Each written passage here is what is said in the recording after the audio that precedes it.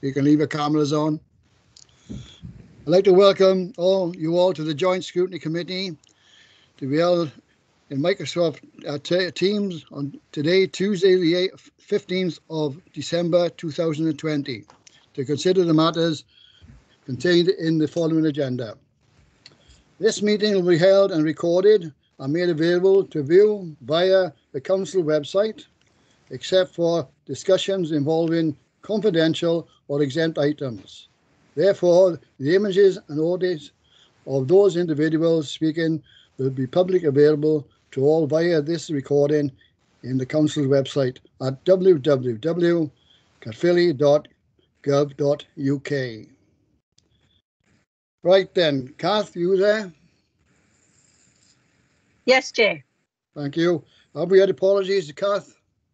Yes, Chair, we have apologies from Councillor John Bevan, from Councillor Christine Forehead, from Councillor Gaynor Oliver, from Councillor John Roberts, and Councillor Margaret Sargent and Ben Zaplatinsky. Thank you. Will you now have the roll call, please, for attendance? Yes, Chair. Uh, members, I'll call you names of the committee members. Can you please confirm your attendance? Councillor Mike Adams. Present, Chair. Councillor Alan Collis. Present, Chair. Councillor Donna Cushion. Present, Chair. Councillor Tudor Davis. Uh, yeah, Councillor Colin Elsbury. I don't see him on the list. No. Councillor Mark Evans. Present, Chair. Councillor Anne Gare. Present. Councillor June Gale. Present. Councillor Rob Goff. Present. Councillor Lindsay Harding. Present. Councillor Alan Higgs is not showing. Councillor Adrian Hussey. present. Councillor Steve Kent's not showing. Councillor Gez Kirby. Here. Uh, Councillor Ariana Leonard and Councillor Philippa Leonard are not showing. Councillor Bob Owen. Present. Councillor Denver Preece is not showing. Councillor Diane Price. Present. Councillor John Scrivens not showing. Councillor Andrew Whitcombe. Present, Chair. Councillor Tom Williams. Present, Chair. And Councillor Walter Williams. Present, Chair. That's Thank you. Chair. Thank you very much. Thank you, Kath. Item two, declaration of interests. Councillors and officers are reminded that they have personal responsibility to declare any personal and or prejudicial interests in respect of any of the items of business on this agenda in accordance with the Local Government Act 2000, the Council Constitution and the Code of Conduct for both councillors and officers. Any declarations of interest? None at all? Yes, Chair. Um, I got my hand up. All right. Um, I want clarification, please, um, from officers. Well, under agenda item three, the contained within the report, there was response received from Gelligaer Community Council. As I'm on the Community Council, do I need to declare um, an interest in that item? I, I would say no, Chair, because the, the council itself um, was uh, um, asked to consult, as are all town and community councils, um, in terms of the evidence gathering of the, the task and finish group. So I should think that's that's fine. Okay, thank you. All right. Now, the agenda, as you re- read it, it's uh, three, uh, two items. I am now say I, I now suggest that we now reverse the um, the two reports. In other words, we take enforce a sale policy first because of the officers will be waiting a long time before we finish with item uh, three. We all agree that we have that item, item four first. Anyone object? No. Right, then we go on to uh, item four, enforcement sale policy, which is pages 31 to 42. And Alan Dallimore, is the, is the cabinet member here, uh, Yeah, by the yeah, way? Councillor Sean Morgan's going to take us through first, Chair. Oh, he's here, is he? I, I don't know. I I, didn't, I didn't hear him uh, saying he was here. I am Sean? here, Councillor? Davis. um, I might have to switch my camera. All right, we can see your face now. Yeah, I- I think uh, Councillor Morgan's screen is frozen. Oh, Yeah, can you hear me? I'm having uh, network. I can hear you. Please speak then if you can't, we can't see you. Okay, so the purpose of this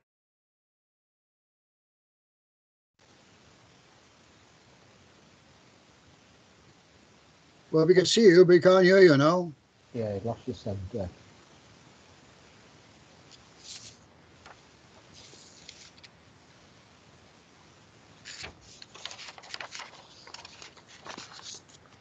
I don't know if you can hear me, Chair. Yes, no. Yeah, I Yeah. We haven't, we haven't heard think anything. better. We haven't heard nothing yet because you've been mute. Can you Okay, I, start, start from the start. Okay, so the purpose of the report, the enforced sale policy, this is a mechanism by which problematic long-term empty houses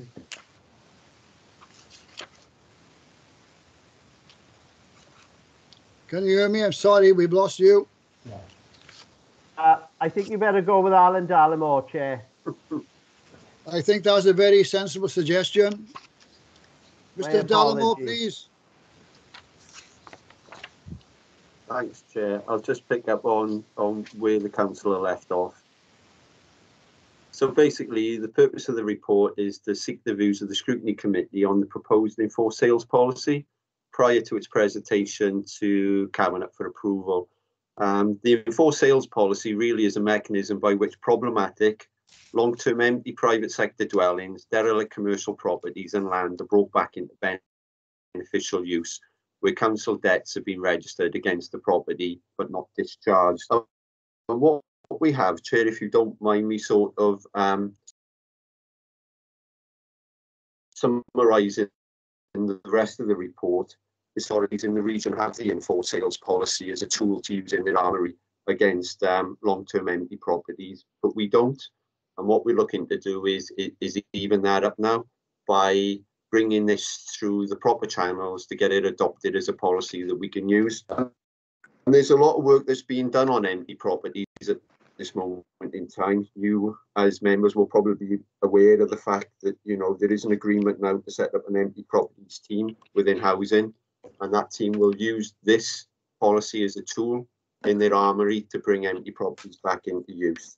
And also, uh, Welsh Government themselves have put a lot of time and effort into appointing consultants to help deal with empty properties. And just for your awareness, there is going to be some training late on in January for senior members and for um, senior officers to be trained up on the best use of tools at their disposal to bring empty properties back into use. So in summary, Chair, I'm willing to take any questions on the report, but I'd just like to reiterate that this really is going to be used as a last resort where we've tried everything within our powers to get property owners to bring properties back into use uh, to no avail. And I now pass it on to the chair, Andrew, of Housing and Thank you. Regeneration Scrutiny Committee, because it's your remit. Thank you, Councillor Dearest. Um, can I, be- before I, I I open it up to the wider floor, I'm conscious I've got my hand, let's take it down. Uh, can I thank the authors of this report? I, I must say this is one of the most enjoyable reports I've read in a long time. Um, I think it's extremely well put together, extremely concise. Uh, it says exactly what it intends to do, and I, and I commend you. I, I, I, I really do. It is a, a, a very good report. But I shall open up for debate now. Councillor Mike Adams. Thank you, Chair. Jo- is it joint chair tonight? Yes. Joint Your chair. Okay. your yeah. No, it, it's just a quick question for for Alan. Um, just say I've read through this one really very interesting report today, and it was very well produced and easy to read. So thanks, uh, thanks for that. Uh, and it is only about empty properties, uh, Alan, is it? Not about properties that there may have been debts occurred over many years, perhaps, or even a short time, and we need to make some progress on. Anywhere that's still lived in as a domestic property will never be included. That's definitely my understanding of the policy, councillor. Okay, thanks for that. That's what I was expecting you to say from the wording already there, and uh, that's reassuring. Thank you very much. Councillor Goff, you've got your hand raised.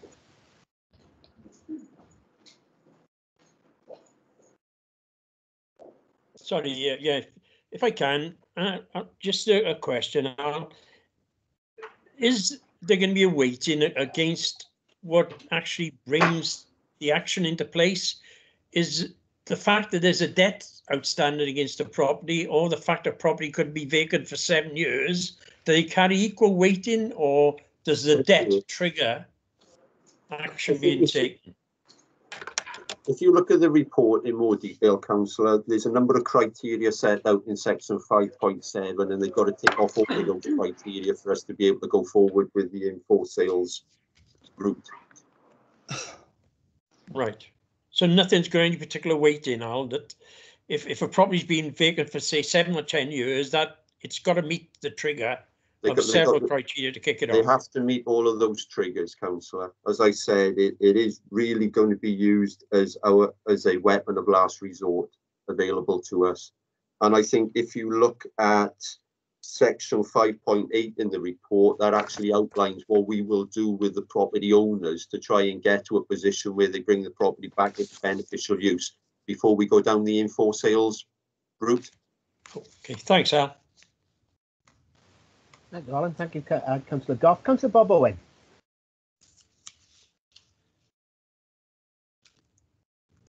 Thank you, Chair. Um, yeah, question for Alan. Can you give us an idea of the numbers of properties we're talking? Um, the report talks about, or, or the actual policy talks about a database. So, I mean, obviously, yeah, we're going to go chasing the finances and whatever. Any, are, are we looking at, you know, 50 properties? Are we looking at 100, 200? You know, sort of a rough idea of the sort of money that we're chasing and the numbers of properties that we're chasing? Yeah, I've got Claire Davis with me here today from Private Housing, who knows a little bit more about the database. If I can bring in Claire now and maybe expand on that. Hi, Claire Davis, Private Sector Housing. Um, so our database records all the properties that are currently vacant for six months or longer on April 1st of each year, and that information is received from council tax. Um, and the figure fluctuates between approximately 1,000 and 1,500. So that would be the number of properties that would be empty on that particular day on April 1st. And then obviously we would work um, in relation to those properties to try and get them back into beneficial use. Many of those will become will return to use just through the market. You know, they'll get sold on with no local authority action. So obviously the ones that we would be dealing with would be the ones that are more problematic in our communities. But we wouldn't be expecting to do a lot of enforced sales during a year. Um, you know, to date we haven't done any, but I think moving forward there would be, you know, in the single figures initially about how many we would get um, that we'd have to enforce the sale on. Okay. Councillor Owen, do you have to return? No, that's uh, that's enough information for me. Thank you very much.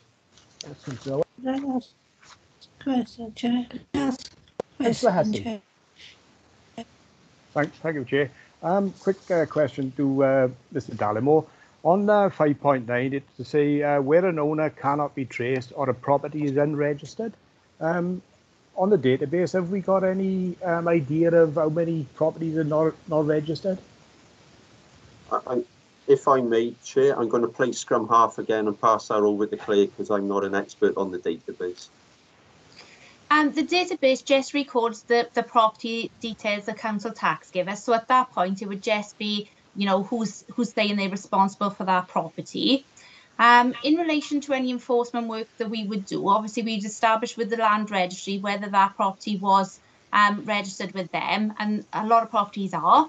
But where a property hasn't moved through any sales in the last probably about 20 years, 20 to 25 years, then it could remain unregistered with the land registry. And the, the person would have paper deeds, if you like, the old the old style paper deeds.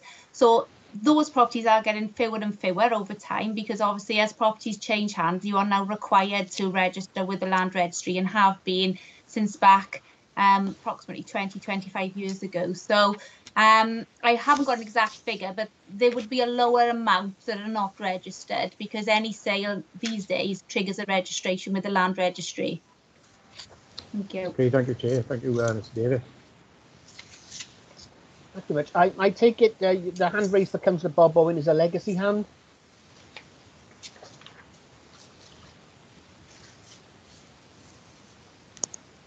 That's gone. There are no other hands raised. Um, the recommendations for the report are on page are at i- item 3.1 and 3.2. Chair, I think Councillor I Gale think uh, councillor um, June Gale Councillor wants to come in, but she hasn't put her hand up. Ah, Councillor Gale. Um, how long does it take from the time of the compulsory purchase order for a house? How long does it take for the council to take over it? That's all, thanks, Chair. Okay, the way I read that question, Chair, is how long does it take for us to go through the enforced sales Yeah. route until we take ownership? And I don't think I can give you a clear indication on that because each individual property will be dealt with differently, probably. But I would have thought the mechanism that has to happen is that we have to give them due time to consider, you know, all of the options open to them as set out in paragraph five point eight. If we do then go down the enforced sales route, there is a period of time where we have to get a valuation on the property. Then we have to offer it to the registered RSLs and Caerphilly Homes. And if they don't take ownership of the property, then we've got to take it to public auction. So it could be several months, in all honesty, councillor, before all of those mechanisms are put in place. Thank you, Mr. Dallimore. I believe Matt, uh, before I go to uh, Councillor Walter Williams, um, uh, Martin Woodlands put, put his hand up. Yes, thank you, Chair. Um, in relation to enforced sales, um, there's a number of procedures uh, uh, that's got to be followed, just alluded to by Mr. Dallimore. Um, obviously, notices have got to be served um, on the various landowners. Um, if, if the notices are not complied with, then that actually triggers the enforced sale procedure.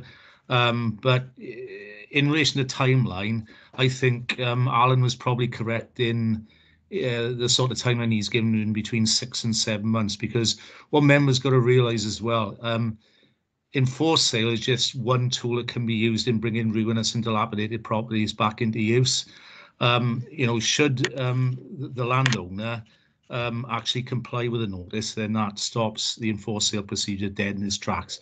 Um, but it is a very useful procedure. Um, I've been involved um, you know, in this type of work now for about 14, 15 years. I think the most I did in my former authority was 14 enforced sales in one year. Um, like I said, you know, it's bringing a lot of bad properties back into use, you know, which is a, a blight upon the landscape um, for residents of the county borough. And, um, you know, it's a good process to follow. It's quick, it's clean. And, and also as well, um, what members have got to realise as well, it's a, it's a cost neutral um, process to the council because all our costs can be netted off, you know, whether it's costs of registration or charges at the land registry, um, officer time, legal costs, um, it's all deducted from um, from from the purchase price, and um, you know it's a gain gain situation for both the county borough and its residents. Chair. Thanks, Mr. Woodland. Can I ask all members who, who are not taking, asking questions to turn their mics off? Because I can hear some conversations um, and a television program in the background. So if they can remember to turn their mics off, please. Councillor Walter Williams. Yes, thank you, Chair. Uh, question for uh, Mr. Dallimore. Uh, under marketing and sale at the end, it says that uh, sales to a preferred purchaser must be approved by the relevant director. Who else decides who's going to, where the purchase goes, you know? Is there?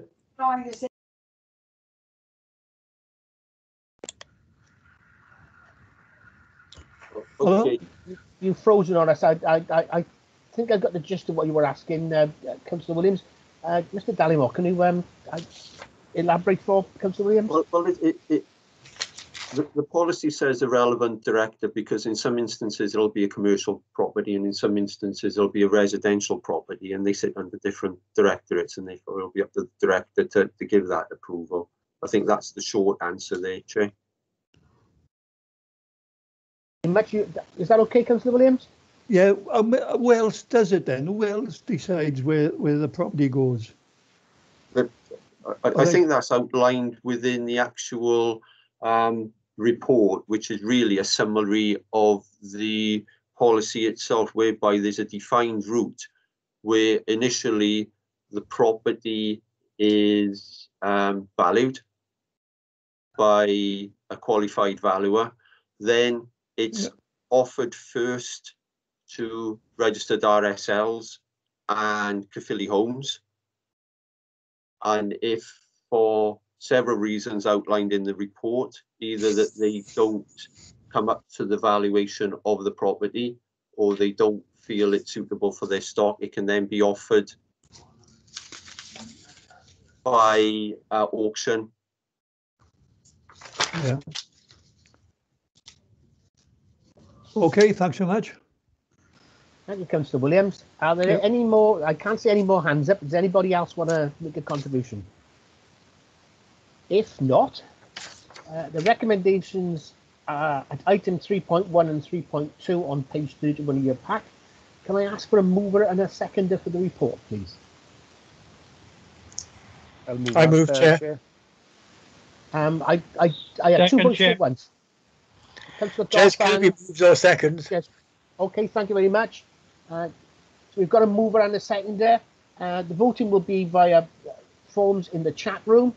So we'll, if we open the chat room, if anybody has difficulty, um, please speak up after the 30 seconds we allow for the voting.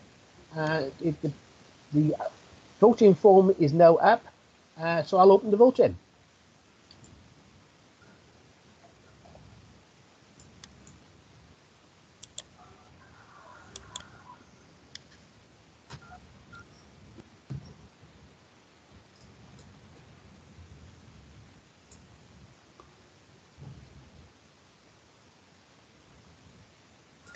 Chair, I've had to um, dial in on my telephone, so I don't seem to be able to vote. So can, can I ask for your vote, Councillor Gay? Yeah, uh, um, I'm for. Thank you. And Chair, I haven't got a yes on mine, but mine is yes. Thank you, Councillor Price. I think that's all of us have voted now. I, I think it's unanimous. That's majority, Chair. That's 13 votes for. Yeah, thanks very Andrew, much indeed. 13 can I votes just for con- majority. Thank Andrew, can I just confirm that I haven't voted because the process has changed and I can't find where to vote?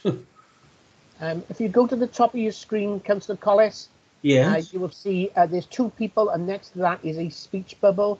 If when we go to votes uh, next time round, I'll record your vote now verbally. But when we go to votes next time, if you click on that, there's a voting panel comes up on the extreme right-hand side of your screen. But you might have to scroll down, Chair, to. Uh, you might have to, to yeah. th- Thank you, Councillor. So you might have to scroll down now. Okay, but the report is carried. Thank you very much, members. I shall now hand back to my my colleague, Councillor Tudor Davis, who will take the next few Thank you, items. thank you, Thank you. Andrew. Uh, we Oh, thank you, are Peter. sharing the uh, agenda a bit, so uh, we now go back obviously to item three, Caerphilly, uh, County Council, Borough Council Car Park Task and Group report and recommendations from pages one to thirty. And f- to kick it off is uh, Councillor Goff, who's going to address the committee. Thank you, Chair. Can I firstly place on record, I'd like the, the committee to reckon, or both scrutinies actually, to recommend, uh, to accept my recommendation to uh, express our thanks to the officers who've put a lot of time and effort in because the uh, task and finish group was set up in 2018. Uh, it was postponed initially for the implementation of civil enforcement and then it was kicked off again and we got hit by COVID-19. So it was a difficult one. The first members of the task and finish group had the opportunity of visiting car parks. The second group of uh, councillors didn't have that opportunity, but officers have done their darndest to make sure that as much information as possible, including maps and um, other information, has been available to allow councillors to make informed decisions. So if we could place on record from both scrutinies our thanks to those officers and indeed to the actual members, both sets of members that actually worked on the task and finish group. Can we record that, If I can please? then, All the members agree that we record our thanks for the members on the task and finish group and also the officers who were involved with it. Yes. All agree to Very much record so. that? Yes. Thank you very if very I much. can, Chair, then go on um, through the report. Um, it was pretty general. We were tasked to go out and look at all aspects of of um, car parks uh, and then come back with some recommendations then for the scrutinies to um, look at and decide on. Um, during that process as well, the change went to two scrutinies, which was why the membership of, of the task and finish group was made up of members of both scrutinies. So if I move to the recommendations, uh, on the first one there is on 3.2. Uh, currently, across the county borough, there are several different rates. Caerphilly rates at 80p an hour, and then they subsequently move up at different proportions. In Blackwood, it's 70p for the first hour, and then it increases proportionally up to a full day. In Ystrad Mynach, it's the same thing. So the task and finish group are recommending that uh, we standardise the charges across the borough. So whatever that rate is, to park for an hour and subsequently with the relevant increases, that um, wherever you park in Caerphilly, that would be the rate. Um, the recommendation is, I think the highest rate is in Caerphilly at 80p. Blackwood, who seem to contribute the most income from car parking, it's 70. So the task and finish group, I've had no uh, negative responses to it, recommending that we um, recommend the cabinet through the scrutiny committees, there's a standard charge of 70p for the first hour, and then whatever the relevant charges are accumulating through to a full day's rates. I don't know if any Andrew? members of the scrutiny committee got a, any view on that?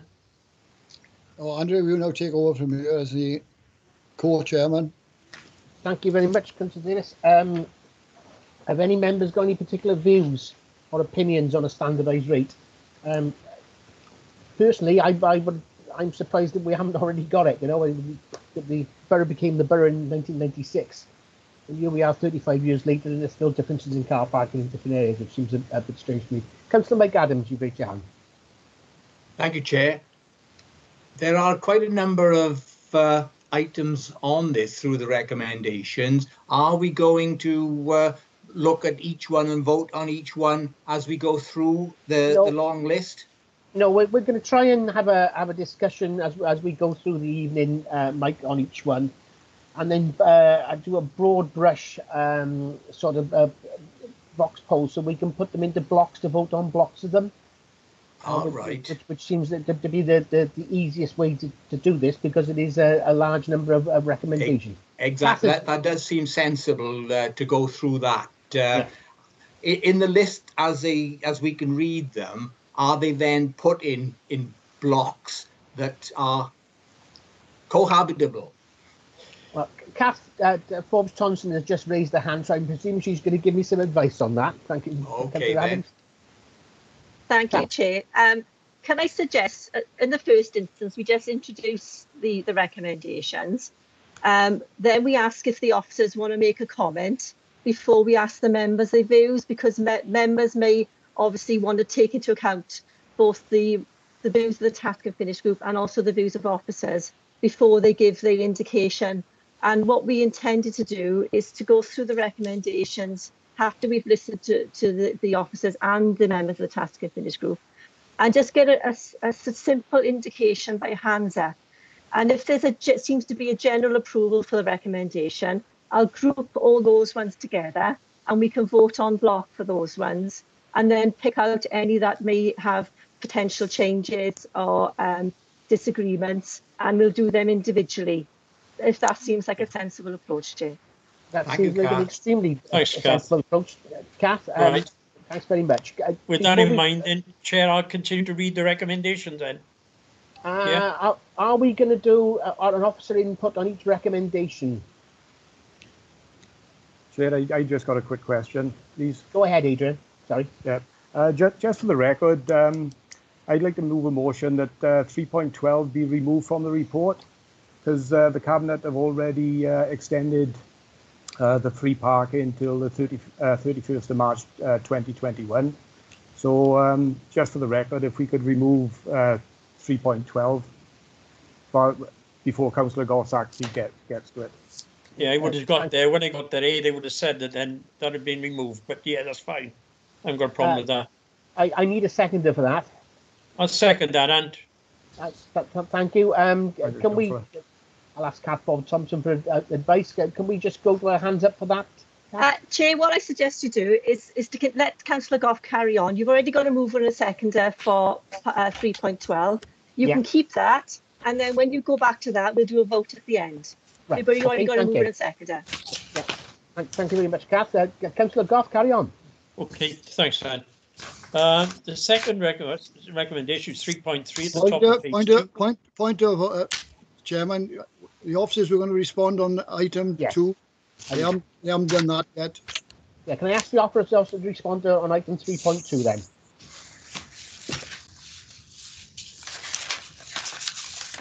Chair, I'm going to pass that one to Clive Campbell, who's uh, in, in the meeting, as Clive was the officer support to the task and finish group, if that's okay.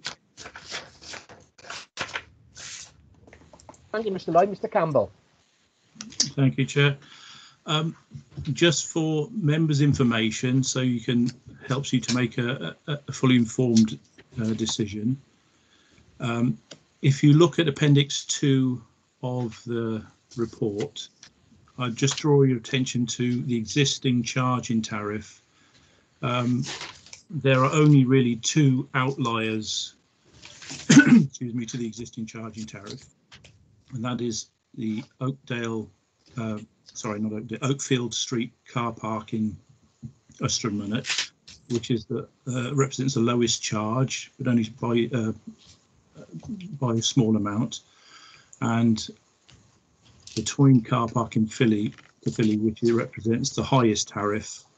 Um, other than that, all the others in between are pretty much the same. When you take into account, some are geared the tariff in some are geared towards long stay and some are geared towards short stay. And the uh, the group did accept and support that there's still a need for that short stay, long stay difference to try and encourage um, workers, commuters into the the longer stay car parks on the periphery of the towns and try and re- retain the short stay car parks for a high turnover availability for shopping visitors. Um, also in the report, um, we've identified the financial implications of reducing the tariffs to the minimum, the existing minimum at uh, Oakfield Street. Uh, if all tariffs were aligned with that, then it would be in the order of a, a 40k, 40,000 pound a- a per year reduction in income. Thank you. Thank you, Mr. Campbell.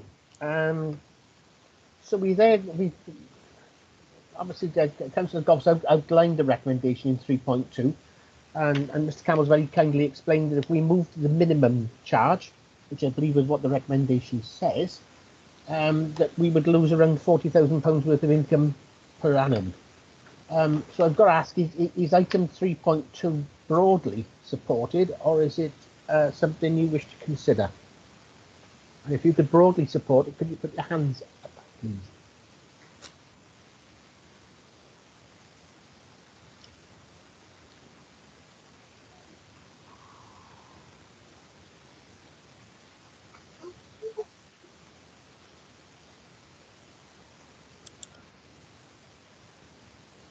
Haven't put my hand up because I'm trying to quickly work out whether that's a majority.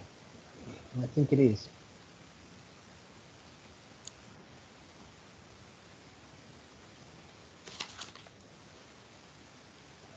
Yeah, that that that, that that's a majority. So if, if Cass could put that in one bracket for, for me, I'd be much appreciated.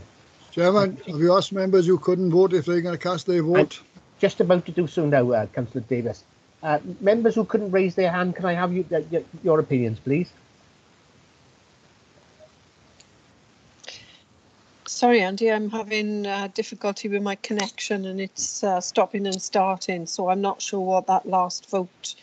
Um, I didn't quite catch all of it. Right. I'm uh, the- particularly interested in the bit relating to Oakfield surgery.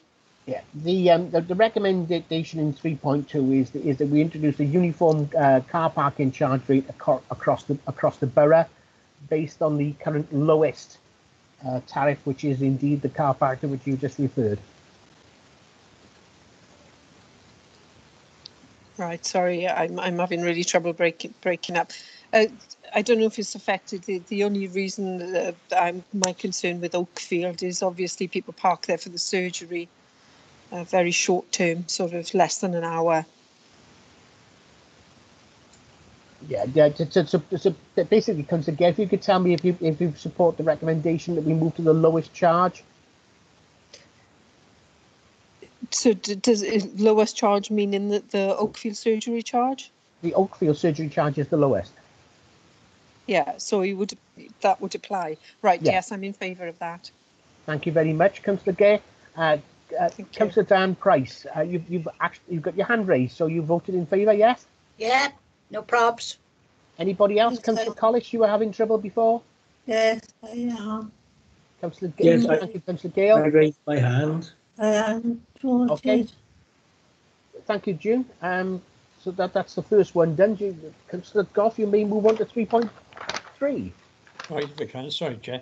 It's uh, to remove the parking charges at the five country parks agreed in 2014 in order to recognise the significant health benefits to residents. If you look at one I do, if before the meeting, you would have seen that one of the appendices gives you um, an idea of the income generated by our country parks.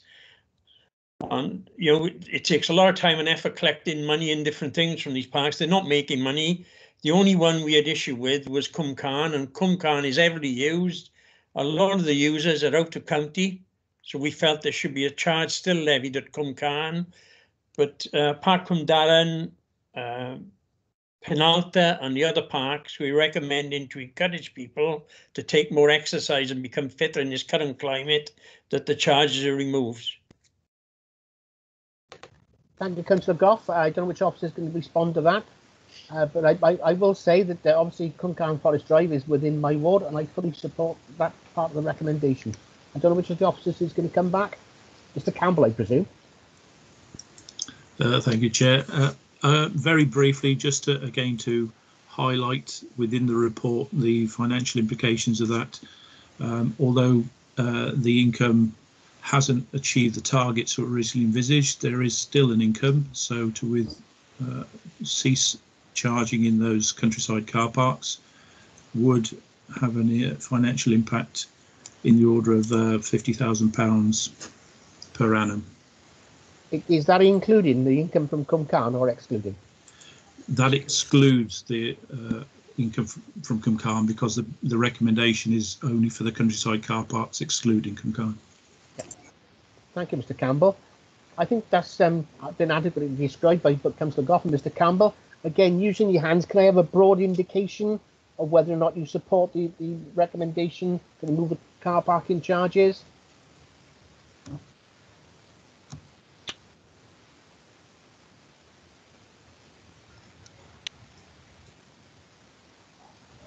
Councillor Gay. Ah, your hand is raised, Councillor Gay. Again, that's I've managed to find out a way to do it. Yeah. well, well done, Anne. And, and, and June, are you on support? Yes? Thank you, June. Uh, Councillor Collis, have you been able? Yes, I can see your hand as well. That's great. Okay, so that's uh, uh, in, in broad support for that measure. Uh, Councillor Goff, can I invite you uh, 3.4? Mr. Chairman, Chair. point of order, could, could, how many members are, are available to vote? Because we need to have that. If it is, if someone, and a small number vote for it, we need to go for those against. Yeah, How many that- members actually uh, are going to vote tonight? Cat, Cat, Cat Forbes-Thompson's has got a got her hand raised. The cat. Hi, Chair. There's 16 members on the on the meeting this evening, Chair. Right, thank you. Right. You Can okay, you Chair? take- yeah, can you take your hands down and we move to 3.4? Excuse me, Chair, can I ask up. what You the quorum for a joint Sorry- meeting? Sorry, Chair. I trouble putting my hand up. It didn't want to come back down then. Oh, hold on, Councillor Goff. Hold on, Councillor Goff. Co- Councillor Adams has made a valid point about what is the quorum for a, a joint scrutiny meeting. Um, 25%. 25%. Thank you, Councillor Davis. Councillor Goff. Thank you, Chair. unless Kath wants to come in quickly.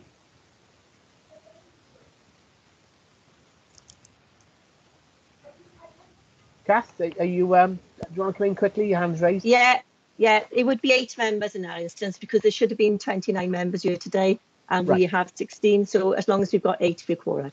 Okay, thank you very much. Answer your question, Councillor Adams? Yes, thanks, Chair. Thanks, Kath. Councillor Goff, 3.4. Thanks, Chair. If we can, then three point four, uh, we recommend the Caerphilly County Borough offer local business reduced uh, rate charge car parking charges permits for their staff uh, in certain car parks, and it's encouraging people who work in the town centres to park further out. I mean, where we've got this current free parking, we've got complaints of businesses that the car, the car parks nearest the town centres are being filled by people who actually work in the towns. So what this recommendation is, is to offer incentives to companies to purchase um, permits to allow their staff to park in car parks on the periphery of towns at a reduced rate. Thank you, Councillor Goff. Mr Campbell.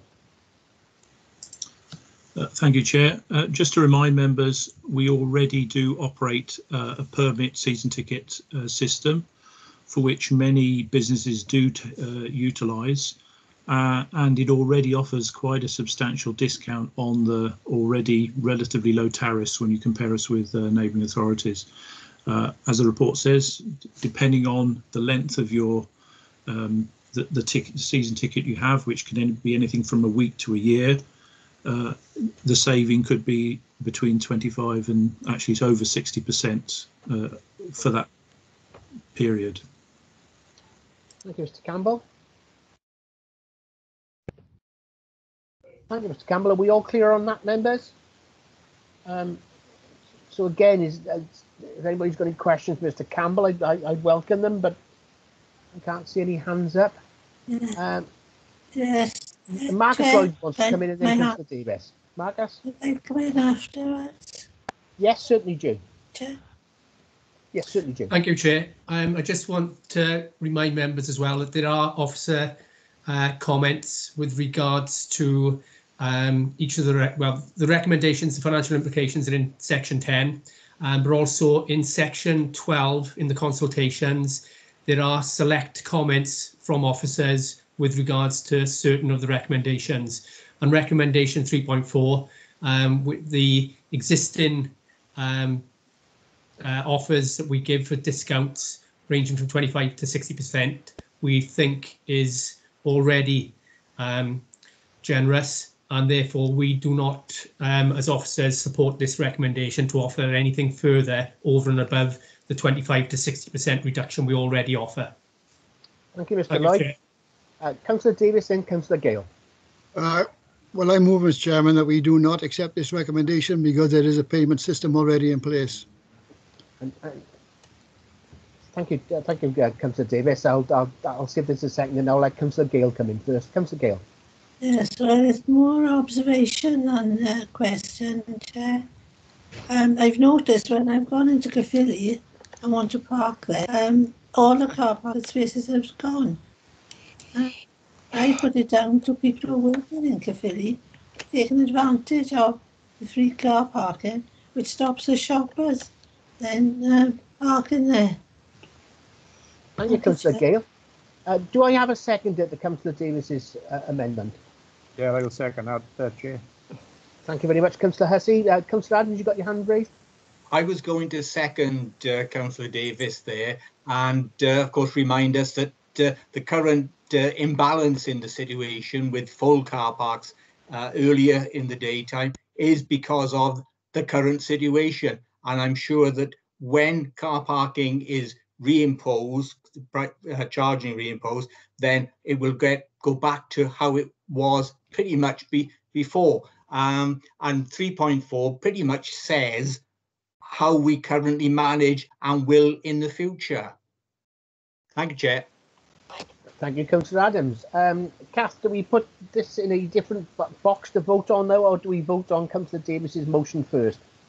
I mean, what you could do, Chair, is is because you've had a move and a seconder for 3.4 to not support, do you want to broadly see if there's support for that? Um, and then if there's a majority who support not supporting that one, we can put that into a, a different vote um, at the end. Thank you. Are we all clear on that, mem members? What we're asking for now is a, by raising the hand to show uh, support for Councillor Davis's motion, seconded by Councillor Adrian Hussey. So if you could raise your hands if you're in support of that, please do.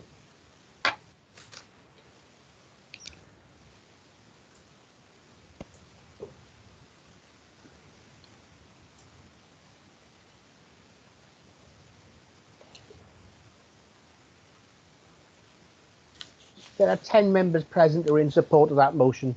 So that's a majority who don't broadly support that recommendation. Yes, thank you, Kath. Can I ask you all to put your hands down now and I'll ask Councillor Goff to start do 3.5. Okay, thanks, Chair. Yeah, 3.5, and it doesn't apply to a lot of car parks. I think across the borough, it may be two or three, and it's uh, where there are car parks in close proximity to schools they're having parking issues during the school drop-off and pick-up times. Officers have given discretion to allow a free parking concession to parents and carers for a limited time only uh, and in consult consultation with the local ward members. So if the local ward members identify a school that's got a particular problem during pick-up and drop-off times that is near uh, a council car park where the charge is levied, the officers can use their discretion whether they charge for an half or an hour period or whatever the time is to allow parents to drop off and pick up their children and carers. Thank you, Councillor Goff. Uh, Mr Lloyd and Mr Campbell, uh, reading the report, I understand there's broad consensus from the officers in support of this. I believe so, Chair. That is the case. Just effectively to maintain um, or to extend the current uh, situation. It's it's mostly focused in uh, Town at the moment, next to the Crescent Road car park, but uh, Libanus Road in Blackwood's uh, an issue as well. Um, but we want to be able to have that, the support to um, have show that discretion anywhere across the county borough should we uh, any other issues arise. Okay, thank you, Mr. Campbell. Uh, Councillor Mike Adams, hand was first. Yeah, thanks, Chair. And pretty much in line with uh, Mr. Campbell's uh, uh, words then, um, one of the problems that we do have is the length of time, how much earlier than pickup time in uh, particular uh, for schools, some of the parents will park and it's easily witnessed by most of us, I think, that it can be up to 45 minutes easily before the children come out. Uh, and that could be causing problems for other motorists. So uh, we, we really need to be very careful how much extra time we give people to just park there and stay without paying. Uh, so I, I know there's competition for the place, the few places in these kind of car parks. So we need to be careful about this. I, I, I duly note that, Councillor Adams. Councillor Cushing. Yeah, thanks, Chair. Um, just a bit of clarification, really. How are you going to identify that um, that it, those parked there are um, parents or carers picking up or dropping off children, or are you just going to not enforce any sort of parking issues between certain times in the morning when that school starts and certain times in the afternoon when that school uh, breaks up? Marcus Lloyd is uh, uh, raised his hand to answer you, uh, Councillor Cushing. Marcus. Thank you, Chair. Just coming back on the, the points raised for there, I think the discretion we would be looking for is that we wouldn't carry out any enforcement in those car parks. They're very few and far between. There's not many of them for say 15 minutes before school start or school finish time. So 15 minutes before and 15 minutes after to give the parents a chance to park, walk to school, collect their child and walk back to the car. So we think 15 minutes before, 15 minutes after is a reasonable time if members are in agreement. Thank you, Mr. Lloyd. I can't see any other hands up, so can we have an indication of broad support for that recommendation, please? Using the hands up.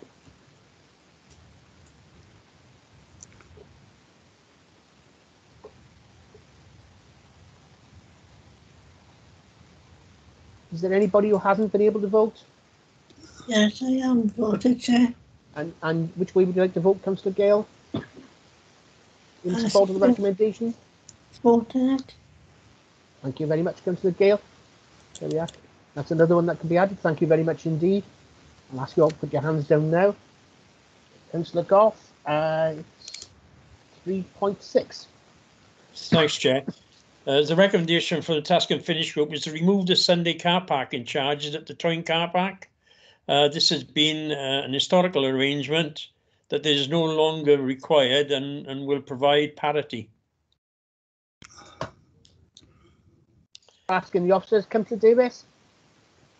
Yes, Mr. Chairman, I, I'd like to uh, line it, this recommendation up to 3.8, sorry, um, 3.9, where we are looking at the fact of considering the charges on the car park and be deferred because of the, the coronavirus.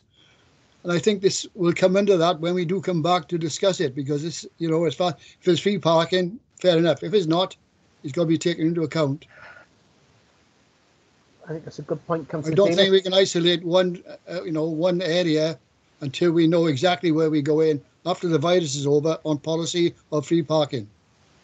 Thank you, Councillor Davis. Uh, Councillor Goff, are you happy to amalgamate 3.6 and 3.9? I can do, Chair. I think the reason it was brought up is that the Twyn car park, because of its close proximity to the castle, uh, was free up until, and Clive might correct me or Marcus, it was free up until, uh, until a couple of years ago, and then charges were implemented on the Sunday.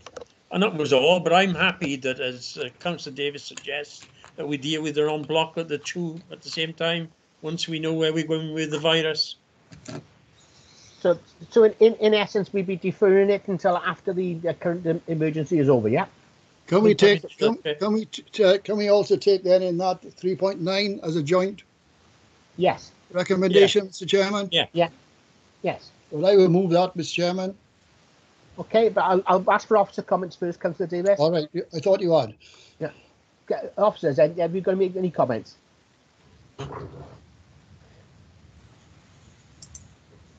Chair, uh, if the matter is going to be deferred, no, no I, I wouldn't comment at this time. Um, Okay, okay, that- that's fine. Just, just to note that it's the only car park uh, where there's Sunday charging. Okay, thank you very And much, in Mr. terms of how long it's been there, uh, it's been many, many years. I, I don't, can't remember exactly when it uh, came into being, but it's been many, many years. Okay then, so um, Councillor Davis has proposed a motion, which is uh, with Councillor Goff's consent, that 3.6 and 3.9 be amalgamated and be deferred until after the emergency is over. Uh, can I ask members then for to raise their hand to say if they're, they uh, in favour of that?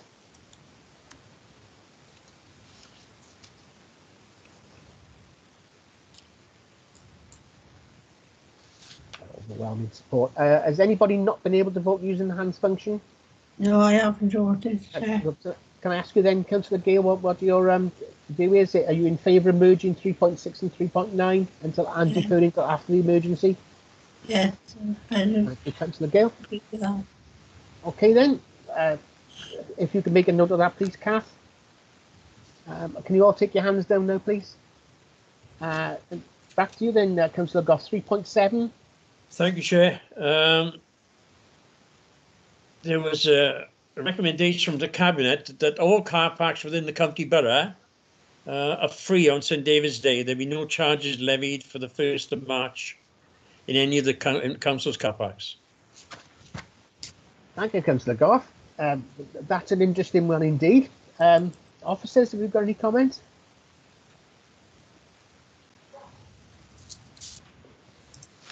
Um, uh, Chair, only to uh, draw your attention again to the financial impact um, that's that's uh, identified in the report, um, which is relatively small, two to three thousand pounds a year. Uh, and from a, a practical point of view, if this were to be supported, um, we wouldn't look to amend any signage. Um, well, no, we probably wouldn't look to amend any signage or, or the pane display machines. It would be through uh, promoting through the council's existing uh, public channels, uh, media channels, and just simply by bagging the pane display machines because the day varies from year to year. Yeah, obviously, obviously, Mr. Campbell, thanks very much. I got uh, Councillor Kirby first, then Councillor uh, Davis. Uh, Councillor Kirby. Thank you, Chair. I'd oppose this proposal. Um, I think if and when Welsh Government introduces a national holiday on St David's Day, I think this would be a good idea. But until they do, I don't think it's worthwhile and I would oppose it. Thank you, Councillor Kirby. Have we got a seconder for that, please?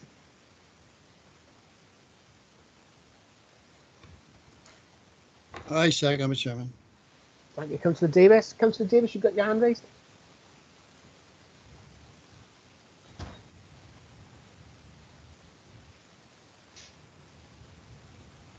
Councillor Davis, Tudor, you've got your hand raised. Oh, yes, I. Could I say that um, I think this comes under the policy we just agreed to refer it, as far as I can see, until the issue was sorted out after the um, virus issue. I mean, we can't do much about it. But next next March and St David's Day is, you know, it's a long way off. They've got plenty of time for another year after for this to be considered. So that's why I oppose it, Mr. Chairman. Thank you very much. Councillor John Williams.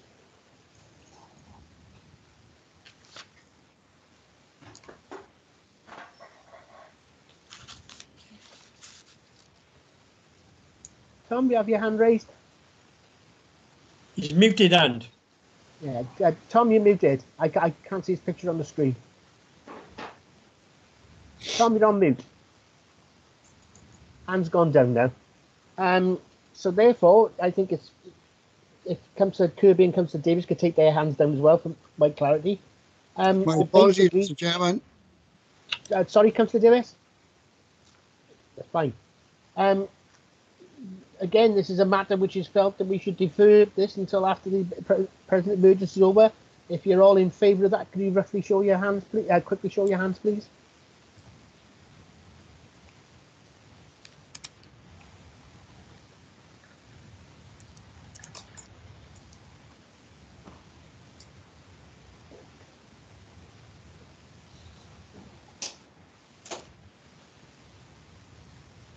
Yes, that's got a majority support there. And Councillor Gale, uh, how would you how would you like to vote? In favour. Thank you. So If you can make a note of that then, please, Kath. Um, we'll do it back, back to you again, Rob, 3.8. Right, if I can, Chair, thanks a lot. The Task and Finish re- recommends to Scrutiny Committee that they ask the Cabinet to review their position on not charging for car parking in park and rides. Uh, the, the, I don't know if people are aware, but the council pays business rates on its car parks. Park and rides are the highest maintenance for keeping clean, CCTV cameras, and yet the charges levied on people parking in park and rides predominantly are going to work in Cardiff, where for those people who go into Cardiff will find it's not unusual to pay eight or eleven pounds for three or four hours. So there's an opportunity there of generating some income to improve or be offset against some of the other recommendations. I've got some hands up, but obviously, having read the report, I'm sure I think the op- uh, officers have a different opinion. Is that correct, then, Mr. Campbell? If I can come in on one, Chair. Um, but- yeah, the the experiences we've had previously, before we've had parking rides in certain places, um, Pengam is a, a prime example where there was significant issues with uh, parking in the side streets. Although, um, as Councillor Goff said, it would be much needed income into the service area. Um, I think it would create a lot of problems with um, cars decanting from the, the parking rides, possibly into side streets, which would then cause us a, a problem with residents not being able to park outside their properties and the, the resultant um, fallout from that. So it's uh, it's a bit of a two-edged sword, this one. Yes, we would welcome the income, but I think the, the problems that would result if we started charging in parking rides from people parking in side streets may be a major issue. Thank you, Mr. Lloyd. Uh, Councillor Kirby. Thank you, Chair. Um, I support Mr. Lloyd's arguments, but I also support the um, manifesto commitment that this council's administration made in 2017, which is to maintain free park and ride facilities, and so clearly I will oppose this proposal. Thank you, Councillor Kirby. Councillor Davis. Yes, Mr. uh, Chairman, uh, I'm, I'm totally against this. I mean, I recall when I was a cabinet member from 2004 to 2008, and I think Bob, prior to that, knew the problems in Pengam, for example, where the horrendous problems of parking with the residents. I went to, I forget how many meetings I went to to meet the public down there, but it's horrendous. They couldn't park anywhere near their houses, and as far as I'm concerned, this is totally unacceptable. And that's the reason why we put in park and ride down in Pengam. And don't forget, Pengam was attraction from people coming from Cefn Forest, Blackwood even, to travel down because obviously there's no train service from Blackwood. If you do this, when we brought park and ride into Bargoed, it alleviated a lot of illegal parking in the side streets. And it's proved itself. And if we go back again to put a, a charges on this, then I can see without any doubt these drivers who want to go by train to wherever they are are going back into the side streets to park. As Mark has said, it's not worth the money because we we have so much uh, problems coming from it, from the public, and quite rightly so. Um, and I know there's been a different opinion on this, uh, as Bob knows, but at the end of the day, I think at the end of the day, if I, I think it was recommended one pound fifty, I think uh, in that in those days to put a charge on. So I'm totally opposed to doing this, Mr. Chairman. As far as I'm concerned, it should be left free. Uh, Councillor Davis, do I accept it? Then you you, you you prepared the second Councillor Kirby's motion. I will second it hundred percent. Yes. Thank you, Councillor Davis. There's a few other hands raised, so I've got this. Uh, Councillor Cushing. Aye, thanks, uh, Chair. Yeah, I actually um, agree with Councillor Davis and Councillor uh, Kirby. Totally um, object to this um, item. Um, I actually go as far as to say to have that actually removed from the recommendations because, um, as Mr. Lloyd said, it will call, cause untold um, issues regarding parking in residential areas. Um, I know the one in Hengoed, uh, you know, they would be all parking absolutely everywhere around there rather than pay the fee. Additionally, most of those commuters, they have to pay a high price for their train fares to get into Cardiff. And to have that on top, they may be thinking, well, I may as well just take my car with me and park it uh, nearer Cardiff. Um, you know, so you're talking the environmental impact as well. So I would actually recommend that we take that recommendation out of the report.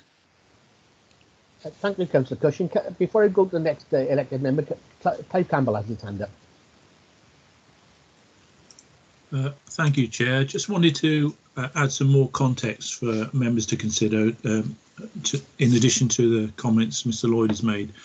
Uh, just to remind members that um, in recent years there's been substantial investment across the borough uh, in park and rides, and they have proved very successful in their main purpose, which was to uh, encourage more sustainable tra- travel and the shift to uh, to the to rail services. Um, we've still got a few aspirations for additional park and rides or extensions to park and rides uh, in the county borough.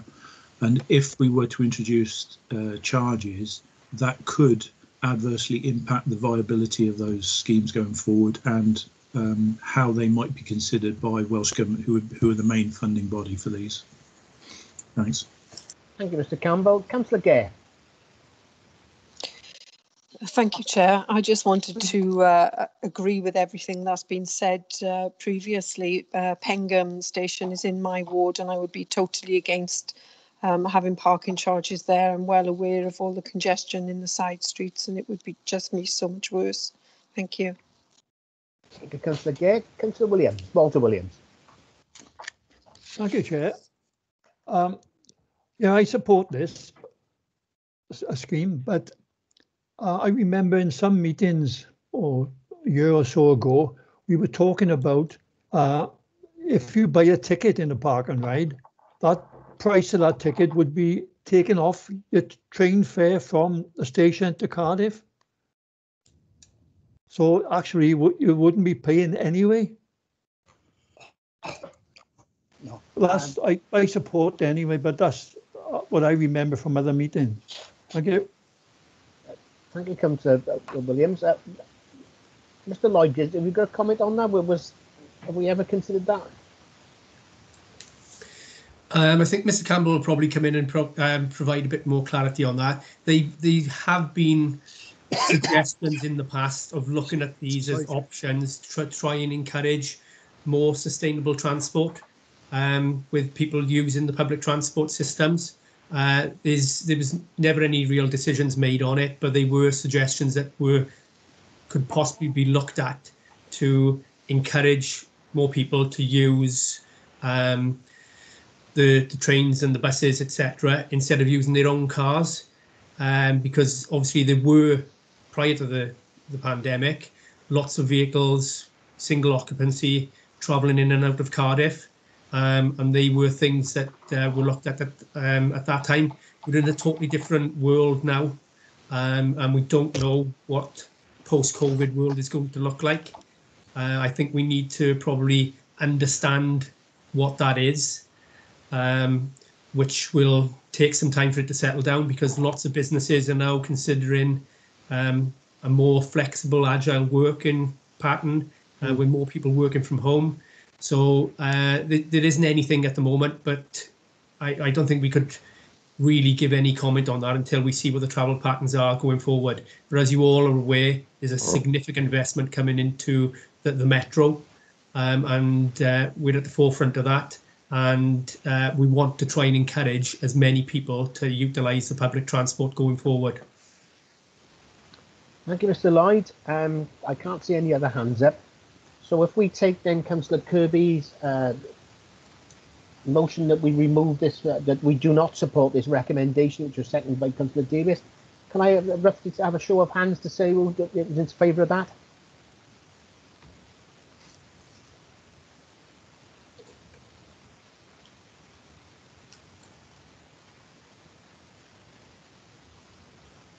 I think that's pretty much unanimous. Uh, there's a majority for it. Uh, Councillor, Councillor Gale, how would you vote? For that, please. For.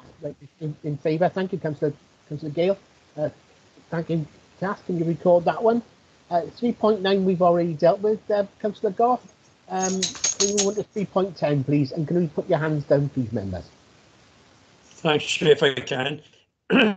310 um, really is is uh, recommendation from the Task and Finish group because of the way that residents parking, sorry, parking in town centres in side streets is virtually abused because uh, as most people are aware, you're allowed to park in Philly Town, Bargoed, Blackwood and various places for an hour or whatever. It's there to encourage people to do the shopping, park and go. But um, it was brought to the attention of the Task and Finish group that there are people who are a bit shrewd and will park somewhere for for their, their hour and then go and move their car to a different street.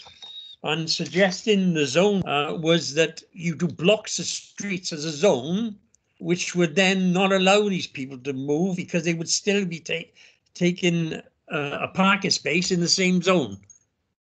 It sounds complicated, But the whole idea is, to give you an idea, you can park in Caerphilly in Bradford Street. When your time is up, you can move it to White Street and, and park again. And that's what's happening by people working in the town. So the recommendation is saying if you park in those streets, uh, so everything east, sorry, west of Cardiff Road would be zone A, everything to the east of Washington would be zone B, so you couldn't actually park in the same zone. So whether Clive's got a different view on that to what I've got, but that's the way I read the recommendation. It's there to stop people abusing free parking in, in, in town centres. Thank you, Councillor Goff. Uh, Mr Campbell or Mr Lloyd, have you got a comment?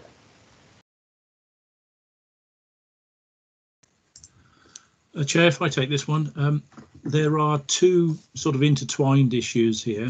Uh, one is the residence permit parking scheme, and then one is the the other is how on-street parking is restricted for non-residents, typically through limited waiting.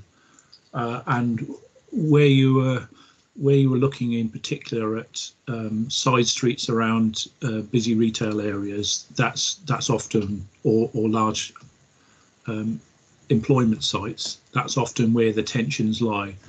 Um, to, in some respects, this issue has already been identified uh, by members and, and recognised uh, by previous scrutiny committees. So when we issue when we brought the first update report on civil parking enforcement, I think it was in 2018, um, sorry, 2019, beg your pardon, um, members discussed and agreed a priority for looking at reviewing traffic regulation orders. So the first phase was to look at uh, a county-wide approach to restrictions that can easily be taken out that weren't particularly contentious. The second phase was to look at where additional restrictions could be put in, um, largely on contentious, on a county-wide basis. And then the third phase was to look at uh, resident permit parking. And so it's in our programme, um, although a timeline hasn't yet been identified. And these issues need to be looked at on a an area by area basis because you need to look at the local circumstances to see what is appropriate in terms of balancing the needs of residents, uh, workers, and visitors. Visitors to the town, visitors to residents. So it's it's an issue that you need to look at on a site by site basis, have that discussion with members before we can agree a, a package of proposals to put to the wider public for consultation. So it's not an easy one to deal with uh, globally, but it can, but it's something that certainly can we have the powers to do and, and the ability to do. It's just and it's already to some respect in our work programme. Thanks. Thank you, Mr Campbell. Councillor Hussey. Thank you, Chair. I was wondering if I could move a motion uh, that this report um, comes back to, uh, to scrutiny. Um, I've got a few issues in my own ward, and I know that um, Councillor Davis have been um, in Bargoed about the uh, time limit on on parking. Newport, um, streets near the, the town centre are 8 till 8 and permit only permit owners only where we are charging our residents who are unfortunately live near the, the, the town centres to park, to be able to park in their streets. So I think that if we could bring um, a report on this uh, at a later date, um, I think that would be the best way forward because this the street parking isn't really anything to do with car parking as such. Can I chair? Sorry, and that we were tasked with looking at all car parking when the task and finish group was set up. But if you look to, um, was it the next one, which is 311, that then includes the permit parking for residents. So this is about the current parking system being abused, which officers are going to look at anyway. And then 311 would, I think, cover what you were looking to do, on residents permit parking and, and the preference given to residents to parking in near town centres. Uh, So if you Councillor have- Hussey, if I if I may, may I ask you a question before I go to Councillor Adams? I just see his name. I, uh, would it be uh, beneficial then if we merge 3.9 and 3.10 together? Uh, sorry, 3.10 and 3.11 together, and have a request for that to come back to scrutiny as a separate report? Yeah, that'd be fine, Chair. And and and that's the motion you want to put? Yeah. I would, yeah. Yeah, yeah. Have we got a seconder for that motion? Yeah. Uh, Councillor Davis has seconded. Councillor Adams. I, again, I would have seconded that uh, suggestion you just made because I think 3.10 goes an awful long way to what Count, uh, Clive Campbell has told us anyway, that it uh, it seems to be already taking a bit of a priority within this uh, this sector of uh, of the whole report. So very happy to uh, to uh, look at that uh, overlap being joined up for a future report. Thank you, Chair. Thank you, Councillor Adams. Uh, Councillor Davis. Oh, do you, uh, your Yes, still Mr. Chairman, uh, I fully support, and you're quite right, uh, uh, Bob, Rob, that we, you know, sorry about this cold, like, you know, that as far as I'm concerned, the issue of um, permit parking needs to be looked at very seriously because what we are getting, we got we've got households who are having a contract with this authority, fifteen pound for a permit, or if it's thirty pound for two, to have the right to park in their street. There's two issues I'm concerned about. In fact, I got a case going on now in Bargoed of a street right near the town centre. First of, first of all, we put signs in for limited parking for 30 minutes or whatever it is in a permit, reservation permit street. And it has annoyed them that they can come anytime and park in the street and not pay a penny and depriving them of parking within their street with their permits. The other one is enforcement, because I've had a case today. In one street, people are paying their permit, others are not, but they're still parking there. I was also told there's one house got four cars, I haven't got any permits, and they're parking there. So as far as I'm concerned, this needs to be looked really seriously because when we make a contract with a person, a resident, of a permit for parking, then they should have the right to do it. We're going to have problems anyway, because as you know, in a lot of streets, we haven't got enough room for the number of cars compared to the houses. And there's a problem there as well, but that's something else. And as you know, within a range of streets within the permit system, they can park anywhere in the next street if they got a permit. So I would I would second that. Well, I would support that that we have a, urgently a report on this to resolve that. And as I as um, Adrian said, the biggest other problem is the eight till six, Monday to Saturday, where people come home from work or come from shopping after six o'clock, and everyone else can park in that street, and they can't park. And I, I think in Newport, they uh, some of them remind me uh, at the end of the day, um, Mr. Campbell, that in some councils they have got later times for the permits, eight o'clock or nine o'clock in other authorities.